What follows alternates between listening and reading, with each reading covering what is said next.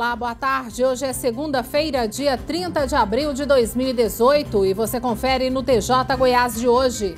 Mesmo com todos os pedidos das polícias rodoviárias, muitos motoristas se arriscam e o resultado são muitos acidentes. Três pessoas já morreram nos últimos dias em rodovias federais goianas.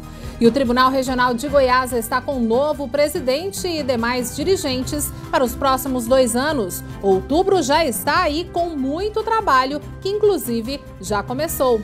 E hoje é segunda, dia do quadro Nossa Cidade e parece brincadeira, mas nessa escuridão toda aí tem uma viela onde passa muita gente todos os dias e noites lá na região noroeste de Goiânia. Vamos mostrar o local e o medo dos moradores. E você conhece algum afinador de piano? Eu vou conhecer hoje essa profissão super importante, mas que está com poucos conhecedores sobre esse assunto.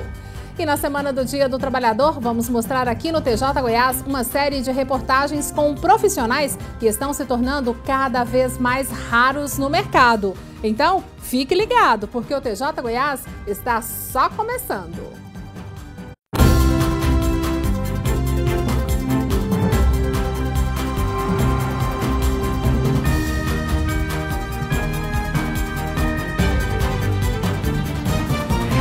O TJ Goiás de hoje já está no ar e você pode acompanhar o nosso telejornal de qualquer lugar do mundo em tempo real pela internet.